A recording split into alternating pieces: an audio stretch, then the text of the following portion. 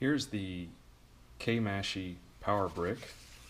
The specific model is model KMP836. Its capacity stated here on the side is 15,000 milliamp hours.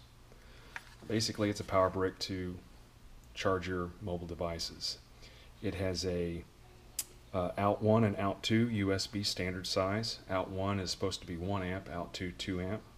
I verified both of those ports behave the same and will supply darn near close to 2 amp output.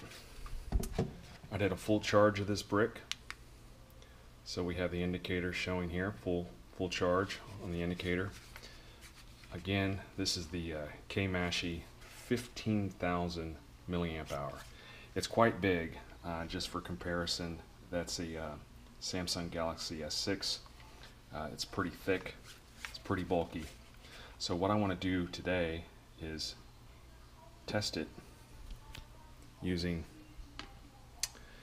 a um, capacity analyzer here and a um, dummy load here. Now on the dummy load I can select 1 amp or 2 amp. I'm going to prefer 1 amp in this case so that it's a uh, nominal draw. I'm going to apply some uh, cooling here because these resistors do get hot. So everything should be set correctly here. I plug this in. As you can see here, it is measuring the amps out and the milliamp hours out. We're at 2. The potential, voltage potential is 4.8 volts at pretty much 1 amp. And what I'm going to do now is uh, step away and let that do its thing until, of course, the low voltage cutoff on the brick, the circuitry in the brick, no longer outputs any current. And then I will compare this number to the marked number here, which is 15,000 milliamp hour. It is 2.29 p.m.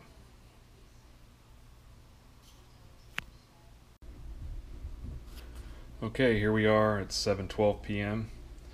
Quite a few hours later. Uh, one status light has gone out in the battery pack and we've taken out 4,889 milliamp hours. Okay, so the discharge of the 15,000 milliamp hour completed. Of course, this was found de-energized, and as well, if you press the status button here, this is now completely drained. So this is the 15,000 milliamp hour. Here I have another model um, made by the same manufacturer. It's the 10,000 milliamp hour model. So you can kind of see the difference there. Thickness is right about, well, they're identical thickness uh, footprint there.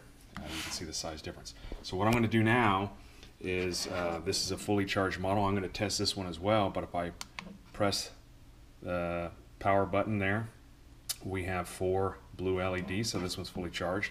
Now when I plug this in, it will turn this on and it will begin discharging and adding to the milliamp hours out that came out of this one. So all we got to do is read this and this will give us what this supplied as far as an output.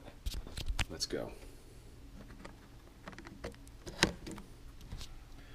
9,810. 9,810. This is a 15,000 milliamp hour pack. This is a 10,000 milliamp hour pack. So, one third less than its stated capacity.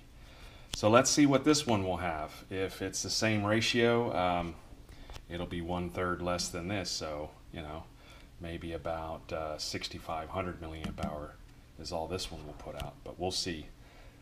But having this only two thirds of its rated capacity, I do not pass this particular um, power bank. I actually have another one, so I'm going to test another one. And if it's the same, I'm not going to bother with it. If it's different, then I'll update the video. Here now I'm going to reset. When I test this guy, hold the button here and you're going to see it reset. There we go. Okay, the 10,000 milliamp hour pack has fully discharged. You can see it's de-energized there, it turned off.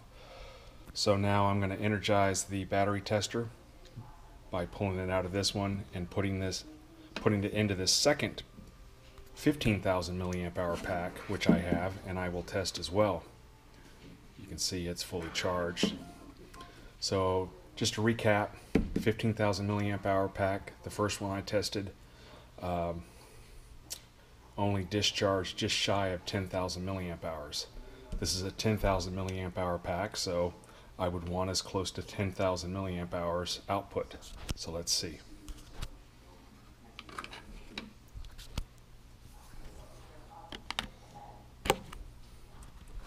Six thousand three hundred and fifty. So 6,350 milliamp hours came out of this 10,000 milliamp hour pack.